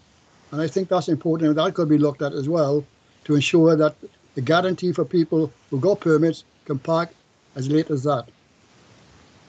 Thank you, Councillor Davis. Councillor Cam- uh, sorry, Mr. Campbell. Thank, thank you, Chair. Uh, just wanted to respond to a, a couple of points uh, that Councillor Davis has made. Uh, I'll take the, the last one first, actually. Um, certainly, we're, we now have the ability to effectively review how the policy is applied county-wide because we've got the uh, the enforcement responsibility and we have the officers that we can deploy in in a shift pattern that's that suits uh, suits the council. Uh, so so that's certainly something that can be considered in the future. I just more uh, the reason why I put my hand up uh, firstly was to respond to the the point about um, people parking in residence permit parkings now. Just wanted to remind you that under COVID, when the council offices were closed, um, residents weren't able to renew their uh, permits. So effectively, we suspended enforcement in resident permit parking bays. And it is only uh, last month that We have sent letters to residents to remind them to renew their permits. So we're working through that now um, by phone, online, to help support uh, residents to re- make those payments and renew their permits. And it will be in the next two weeks or so, probably after Christmas, I think it, the letters state, where we will um, on to start undertaking enforcement in those areas again. So you should see an improvement on that Yeah. specific point. Thank you. Thank you, Mr. Campbell. Uh, Councillor Davis, do you want to come back? No, I made my point, and I, I think uh, Mr. Campbell has cleared his point. I, I'm- I'm glad that, that that's going to come up more enforcement, because that's important to those permit holders. We've got a contract for this. Yep, exactly. Okay, then, what we've got is uh, a suggestion by C- Councillor Hussey, seconded by Councillor Davis, that we amalgamate 3.9 and 3.10 and do not, do not recommend them, but ask it to come back to scrutiny committee as a separate report. Uh, could you indicate your support for that uh, by showing hands, please? Sorry, Chair, can I just say, it was 310 and 311. Yeah, so, sorry. Uh, the light is going in the room. It's 310 and 311. Th- thank you, Kat. Thank you, Robert, for reminding me. Uh, can He's you raise li- your hands and show your support, please?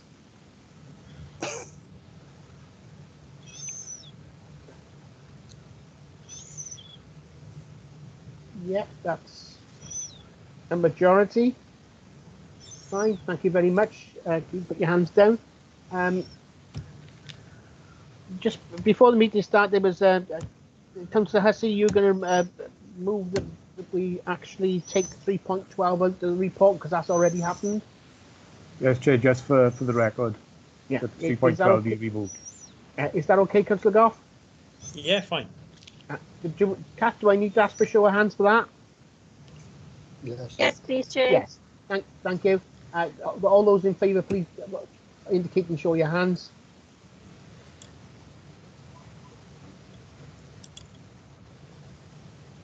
Again, a clear majority. Councillor Gale, which which way do you want to vote? Oh, please. Thank you, Oh. Councillor Gale. Okay, thank you very much. Uh, put your hands down now, and speedily, Councillor Goff, we move on to item 3.113. Right. I, I wonder what I've been doing the last 12 months to, to warrant this. Tudor, this is The, the MBE Um, possibly. right. 313, uh, the current approach, the, the um, task and finish group uh, picked up on the issue where the council currently allows trading to take place in certain of its car parks. Uh, the one given as an example is in Rhymney, that a butcher's vehicle operates out of a car park or used to operate out of a car park there. But it's allowing officers to have the discretion to permit this kind of activity in car parks across the borough. There's no formal policy, so it's allowing the the officers to develop a policy where, you know, due down to their discretion, they could allow this activity to take place. Thank you, Councillor Goff. Uh, Mr. Lloyd or Mr. Campbell? I think we've brought Thank you, Chair. this, yes? Just to uh, just to add, um, we have somewhat informally been applying this uh, for a number of years, but it would be uh, appreciated to have members' formal support on this. Um, our trading, strictly speaking, under the car parking order, trading is prohibited, but there are a few occasions where it is seen as a community benefit, and we, we would like to to uh, continue with that discretion. Um, other examples um, where we already allow it's not trading, but but use of the car park for other purposes would be things like a the breast cancer testing facility, uh, or, or maybe even blood donation. So so there are some genuine um, genuine reasons why we want to have that flexibility. Thank you. Thank you, Mr. Campbell. Um, Councillor Davis, you have your hand raised? No, I'm sorry, sir, no. Okay, thanks very much. Um, well, if there's nobody else's hand being raised, can we all give an indication of our support for that uh, recommendation by raising your hands, please?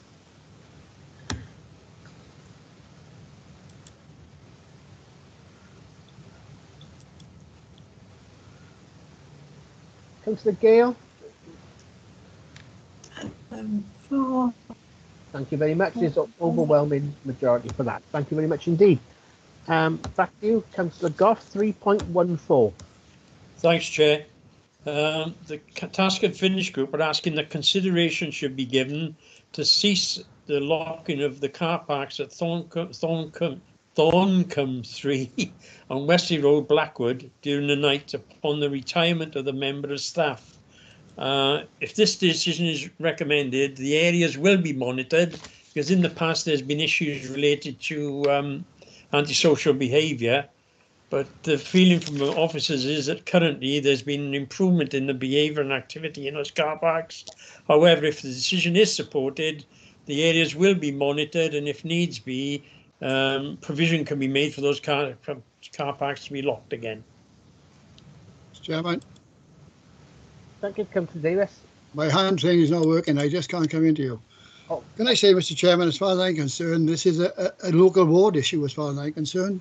And this matter, as far as I should be deferred until such time that person, the key person, uh, gives up the gives up the job, and the matter then for the officers and the members to sort it out. I, I, So I, therefore, I, would move that um, we refer, you know, refer it to the appropriate time when he retires. I hope he's not 30 years of age. I, I, I think it's before I ask imminent, for- Chair. Before I ask for a second, I, I, I would remind members um, that there is no fixed retirement age. In fact, in my last occupation, I had a member of staff who was 82 and the best fluid hydraulics engineering lecturer I've ever met. But there we are. Um, so, uh, uh, I think the retirement is imminent, Chair. That's why it was brought up. Well, that's I sort it out when it comes. I, I, yeah, but uh, have we got a second to Councillor Davis's motion? Yeah, I'll sec- second that, Chair. With Councillor Hussey. I've got a few hands up. Uh, Councillor Gay?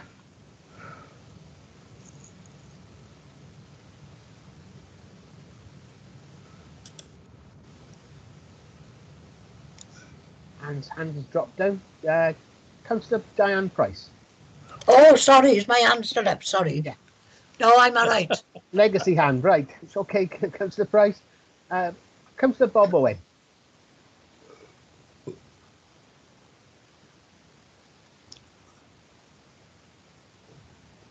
Sorry, uh, I'm having trouble with the buttons here as well.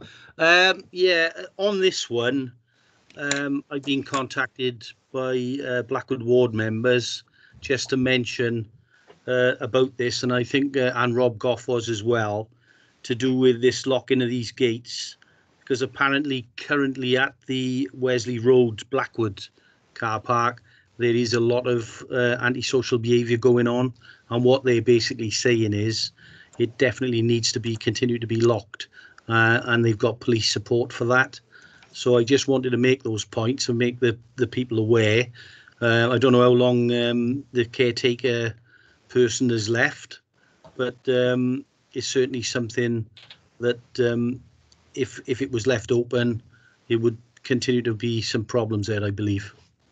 So it's just more of a comment wants to come in on there, behalf of Blackwood. because Bob Owen's comments there, there's there's been no mention in the task and finish group either from the police or from local members regarding that those issues. So I don't know if Clive's got information on the current situation there.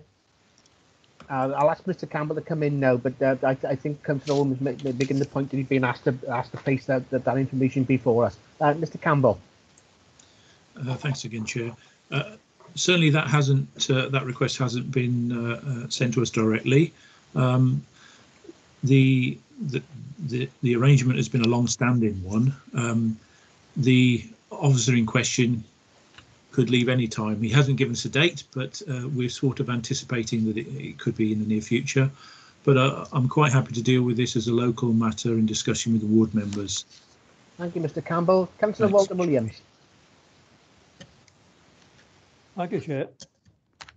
Yes, um, I think this might have been a legacy of the problems we used to have in Blackwood Town Centre, where teenagers racing up and down in cars. Then they decided to shut the centre, the town centre off, and it stopped all that. And um, I think we would have a problem straight away if we opened the car park at night. You'd have teenagers, gangs in there, drinking, smoking, whatever, and then we'd have a lot of problems with litter the following morning. Because I have the same problem in my ward, where we have to lock the car park by the school, by the community centre, because the residents have complained about antisocial behaviour two o'clock in the morning. You know, and this is uh, something that's going to happen again, I think. I mean, we must, although this chap might retire, is he the only one going around locking things? I mean, the cemeteries are locked at night. Someone has to travel and do that. So it's just a matter of uh, deferring the, the, the job perhaps to someone else. Okay, thanks so much. Thank you, Councillor Williams. Um, Councillor Mike Adams. Thank you, Chair. Uh, it seems as if the request that uh, the way that Bob uh, Owen put it to us from Blackwood members is in uh, a bit. Uh, I've seen they want it kept locked, and the consideration consideration should be given to cease locking the car parks and and and looking at when the current person who does the locking uh, is retired. Uh, so there seems to be a bit of uh, what if, what if, what if, Yeah. why uh, between local members and what the task and finish group. Uh, I'm, I don't know whether Councillor Goff can explain any more on that to us. If I can come in, Mike, we, we were talking about the uh, car parks. Um, there were Blackwood members present, and we, we were given the impression that those car parks had historical issues with antisocial behaviour, but that appeared to have been resolved when they resolved the, the issues around Blackwood Town, as you say. That's right. Um, but then this last couple of days, Councillor Etheridge, uh, Councillor Farina-Childs have sent emails out saying that they have concerns that there is um, still antisocial behaviour issues in the area. Now, the task and finish group could well have come to a different decision had the police said that there were issues on site or been made aware that there were still antisocial behaviour issues on site. I think what's been suggested is that uh, officers work with local members and try and find a compromise of how that's going to work. Yep. Yes, Councillor Yeah, I would agree with that. It hasn't, that kind of Councillor Adams, information hasn't Councillor- percolated Councillor down Adams, through to please. the neighbouring ward. Councillor Adams, please. I think we've debated this uh, uh, enough, as a matter of fact, because Yeah. we, the, the, the, gentleman who does the locking up hasn't retired, and Councillor Exactly. Davis and Councillor Hussey cl- clearly made it that they think that we, this should be deferred for discussion with local ward members once the gentleman, if he retires at all, because you can't Quite right. force people to retire. So could I have an indication of members therefore whether they support Councillor Davis's recommendation and Councillor Hussey's recommendation that this is deferred until the gentleman actually retires?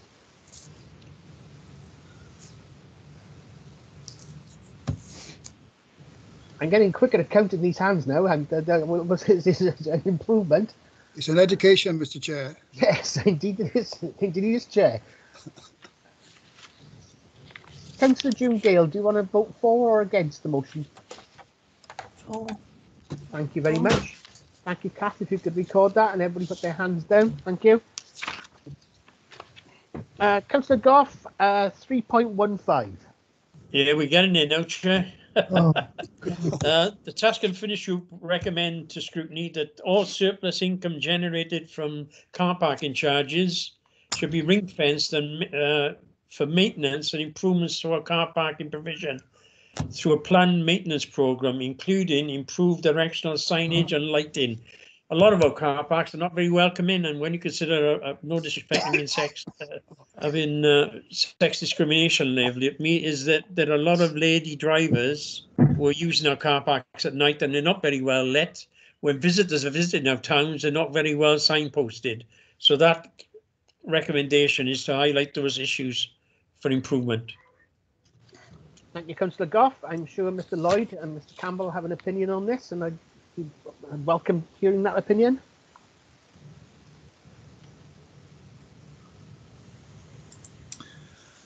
Uh, Chair, I draw draw your or members' uh, attention to the officer comments on this. Um, it's it's some, somewhat difficult to get your head around. We've we've identified um, some financial implications of ring fencing the budgets. Uh, the, the figures show uh, £270,000 for the year based on actual income for, for last financial year, but also the the difference or shortfall against the budget.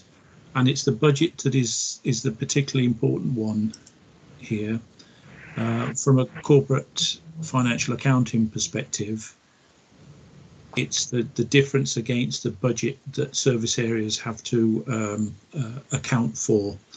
Um, and if the budget is ring fenced to just the car parks alone, then it takes out uh, a significant proportion of budget that would ordinarily be available for other services across the service area, highways, transportation, engineering.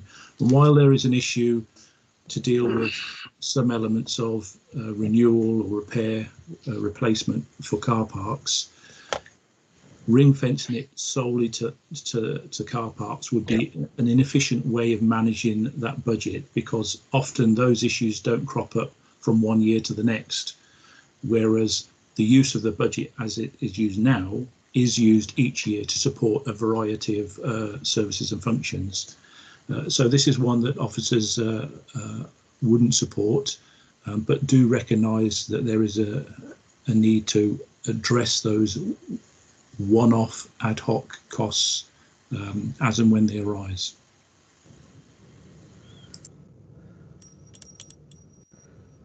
Thank you, Mr. Campbell. I believe Mr. Lloyd is coming as well. I'm, I'm, I'm back live now. Thank you, Rob. Uh, Marcus.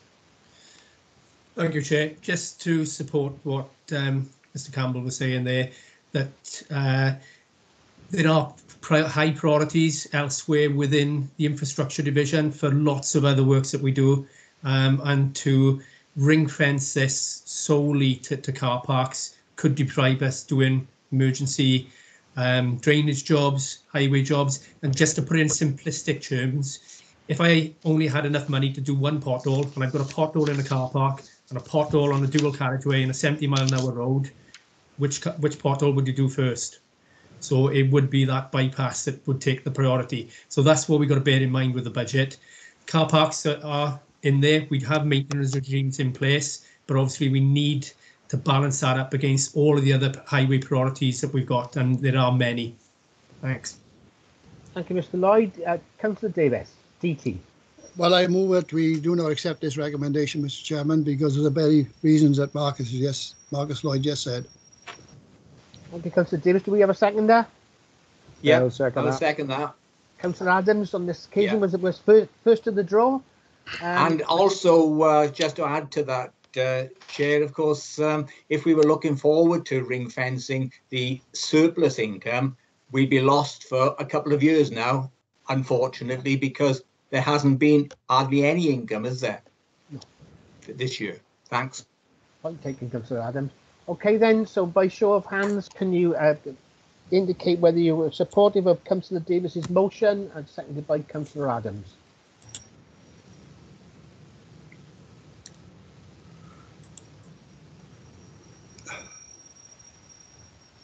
There was majority. Councillor Gale, are you for or against? For. That's this broad majority. Uh, thank you, members. Could you record that, please, Kath? And oh, back to you, Rob. Um, three point one six. Last, last one, Chair. And it's uh, that opportunities to improve the existing CCTV uh, be explored where grant funding or possible match funding can be found to be available. Um, some of our car parks have got CCTV cameras, some haven't. In some areas, the cameras are a bit dated and the quality of the reproduction is not that good. So if there is an opportunity for identifying either match funding or grants, then we should take every opportunity to obtain that money. Yeah. Uh, either the officers want to make a comment on that? I've got Councillor Davis's hand is raised and Mark Lloyd's hand is raised. Apologies, Chair. Mine was a legacy hand, but I, I I will come in on it. Um, yeah, from an officer point of view, anything we can do with regards to grant funding, we would um, follow up and try and maximise that to, to make improvements where, where possible. I move, I move, I move, Mr. Chairman. Thank you, Councillor Davies. We got a seconder before I bring. Uh, Yes, I'll, I'll second before Adrian gets in front of me again. Right. Okay, Councillor Cushing. Thank you, Chair.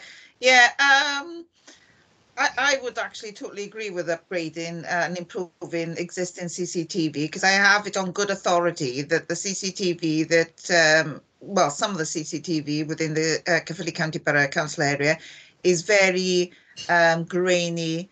You couldn't really identify people on it um, or whatever. It's been, it's not a very good system. Hence, that's why they have to have the lights on at Tŷ Penallta.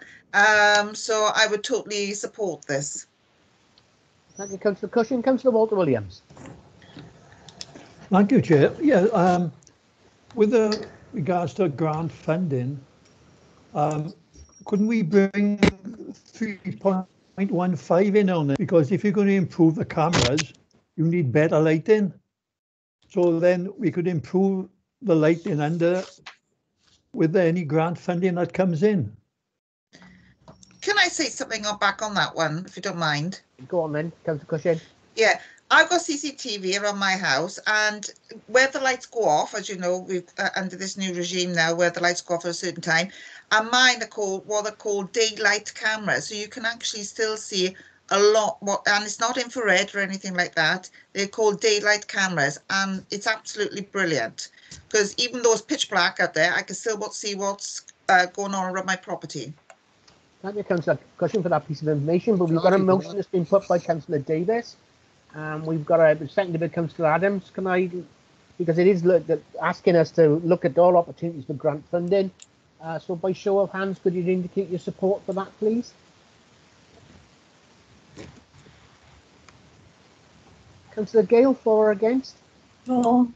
Thank you, Councillor Gale. Clear majority. Um, thank you very much, members, but that's not the end of the voting. Um, Thanks, Chair. I appreciate that. That's the hard bit. Then I leave the easy bit to Kath now.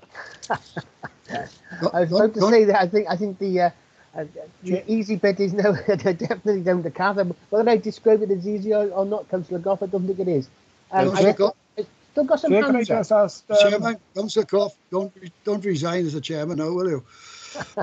Retiring to you, I'm exhausted.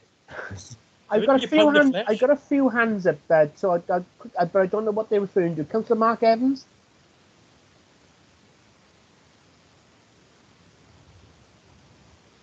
Sorry, left it up, Chair. It's okay. Uh, Councillor Ann Gay is in the legacy hand.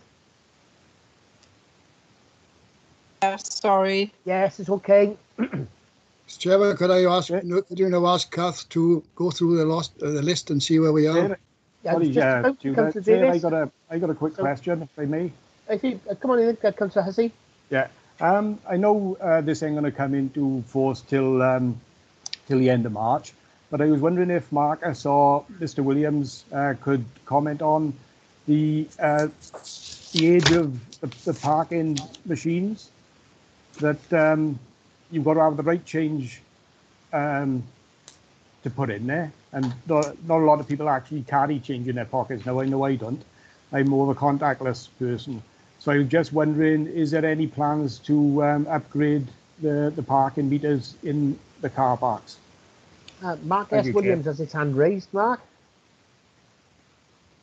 Uh, thank you, Chair. Um, uh, yes, Councillor Hussey, you're absolutely correct. Our parking or P and D machines, as we call them, pay and display machines, are uh, somewhat old and a little bit decrepit, coming to the end of their useful life. Because of their age, they do require correct change only. Um, and if you use P and D machines in a modern city centre these days, you can pay with your phone, with a card, with cash, with a variety of, of methods. So it would be our plan um, obviously, once the free period comes to an end, to upgrade our uh, pay and display machines. Um, I appreciate. Uh, so your question is quite timely, Councillor Hussey. Thanks for that. Appreciate that it's not necessarily one of the recommendations of the Task and Finish group, but if members tonight are happy to add it to the suite of recommendations that will go before cabinet, that you know we we replace our pay and display machines in our car parks for a, for a more modern offer. Thank you. Councillor Thank, Davis. thank you, Mark. Yeah, Well, thank you, Chair. Mr Chairman, we do refer it to the Cabinet for their consideration. Right, Okay, that's, that's, that's it. Adrian second that. And Councillor Gay, you've got your hand raised? Yeah, I just wondered if that would um, also, uh, as you do in Cardiff and things, you pay for the parking when you get back, so you know in advance, so you don't get caught out by paying, you know, an hour and, and overrunning by 10 minutes. A- consideration I'm sure they'll be taken forward by the officers, Councillor Gay. Um, I, obviously I'm going to have to ask for, for a show of hands to see whether there's broad support for that um, recommendation brought forward by Councillor Hussey. Um, hands are already going up at a rate of knots. Yeah. Councillor Councillor Gale, are you in, in favour or, or against? For or against? For. Thank you, Councillor. If you can all take your hands down now, I'll I'll now go back to Kath Forbes-Thompson and she can give us uh, some uh, uh, advice on where we should be and how, how we're going to vote on this process going forward. Thank you, Chair. I've been keeping close notes of what everyone wants. So if the first vote we're going to do on forms, which is in the chat facility, it's for the recommendations that you want to support. So these are the ones in the report, plus the additional one I've called 3.17 to replace play and display machines for a more modern offer. So the ones that you agree to support is 3.2, 3.3, 3.5, 3.13, 3.16, and the additional 3.17 for the pay and display machines. Now, these have all been individually moved and seconded, so can we have somebody to move and second those on block, please? Uh, I'll, I'll move on black. Move on block, Chair. And I'll Councillor second that, Chair. moved on black and Councillor Hussey seconded. Okay, now if members are able to go to the chat function, which is at the top of your screen, next to the two little people, there's a, there's a chat box. So if you open that up, there'll be a voting option there. For those who can't, if you can verbally say that you can't vote. And voting has started now.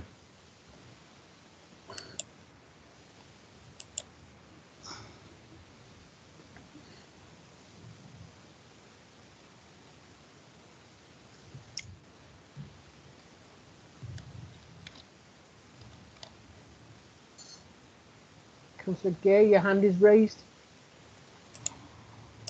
Yeah, that's, uh, I'm, I'm using that as voting for. Thank you.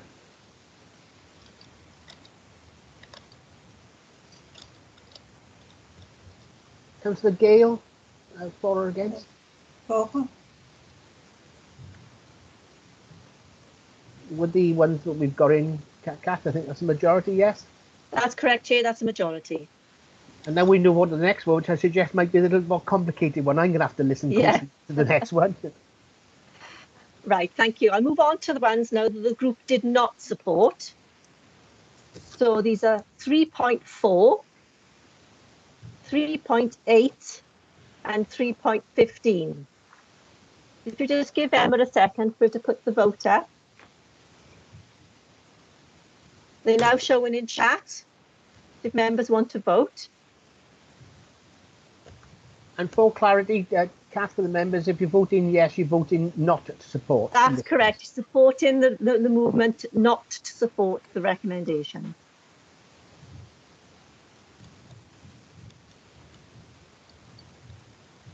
Oh, bloody hell.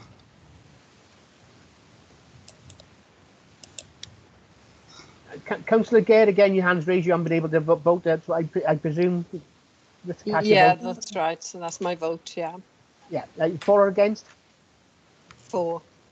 Uh, Councillor Gale, for or against? For. Thank you very much. I've lost my chat box now, so I can't. Um, Excuse me, Chair. Excuse me, Chair. uh, Councillor Williams. Yes, Uh, Councillor I've got something on the screen saying something went wrong. Please try again. But uh, I can't. It's not leaving, so Give I it put my hand up anyway. Williams. Can you give a Pardon? verbal one then? Give us a verbal vote. Yeah. Yes, I I support. Yeah. Could I clarify mine, Mr Chairman? Um, I'm not sure, but I voted yes, yes in case. Right. Okay, that's fine, Councillor Davis. Uh, that's a majority as well. Yes, Jay, thank you. Right, the next one, we had three recommendations that were moved to be deferred until the current COVID impact is, un- is, is ended. Now, this is 3.6, 3.9, and 3.7. so, wait to give Emma a chance. In the chat function, there'll be a vote again. So, we're agreeing to defer these recommendations because of the current COVID crisis. And voting is now open. Vote is opened.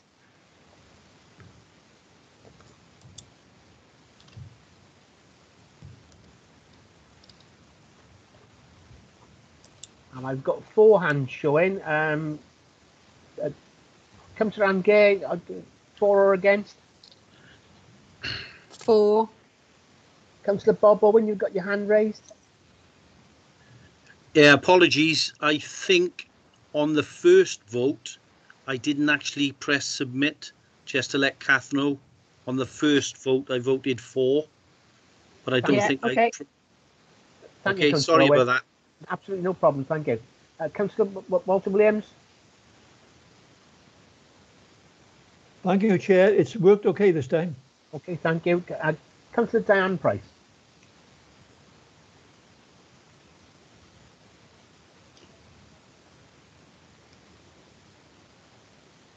Councillor Price? Hand's gone down now. Um, just checking the ch- chat box a moment. I think that's a, a majority as That's well. the majority. Okay. Fine. Thank you, Kath. Now, there's one more. Yeah. There's two more, actually. We got a couple more. Um, there was another recommendation that was moved and seconded for 3.10 and 3.11 for a report to come back to scrutiny. Yeah. So that, so that can be moved and seconded, and then a vote will be put in the chat. Adrian, I move like Gez Kirby. Uh, thank you, Gez. Uh, Councillor Kirby, uh, you got a second there? Yeah, I'll second that, Chair. Thank you very much. Um, voting now open then.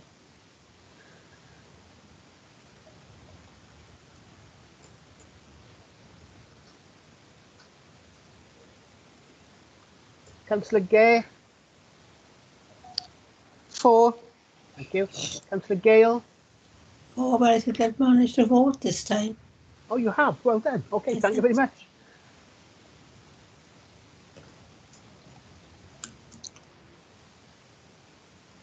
Councillor Dan Price, have your hand raised?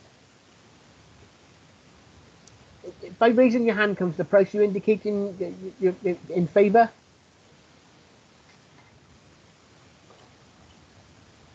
Hand's gone down. Uh, it's a majority anyway. Yeah. Right, Chair, the next one, we, it was already been moved and seconded. It was agreed to um, remove 3.12. So if members can please formally now vote, we will create, we will agree that we will remove recommendation 3.12. Voting now open.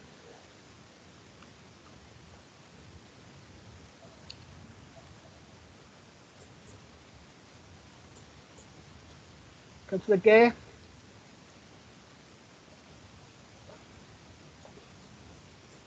you're on mute, Councillor For, Gay. did you? Thank you. Four.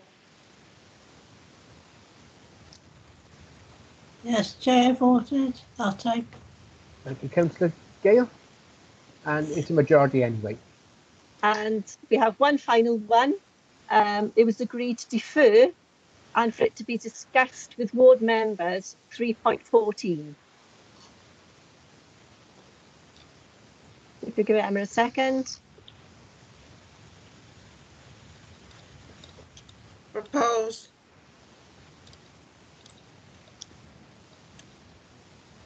Yeah, Councillor Cushing, we're just waiting for the vote to be loaded. And the voting is open.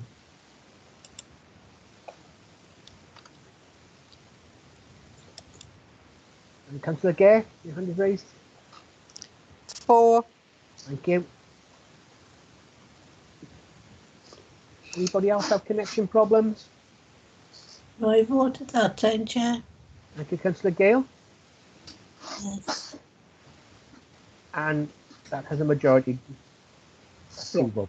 Thank you. Thank, thank you very much, Kath, and thank you, Emma, in the background. Thank you very much indeed. Um, last, that's the uh, main body of the report and the agenda concluded for tonight.